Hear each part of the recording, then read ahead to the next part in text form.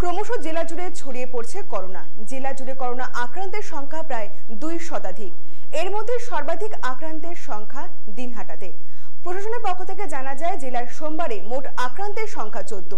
যার মধ্যে দিনহাটা দশ, তুফানগঞ্জ দুই এবং সদরে দুই। তবে মন্দের মধ্যে ভালো খবর, সোমবার জেলায় তিন শতাধিক রিপোর্ট নেগেটিভ আসে। ইতিমধ্যে বিভিন্ন কোয়ারেন্টাইন সেন্টারে আবাসিকরা বিক্ষোভ দেখিয়েছে। সোয়াব রিপোর্ট দেরিতে আসার কারণে। রয়েছে তাদের একজনের প্রায় পনেরো থেকে ষোলো দিন পরে আক্রান্ত হওয়ার পরে সেই রিপোর্ট না আসায় তাদের ছাড়া হচ্ছে না।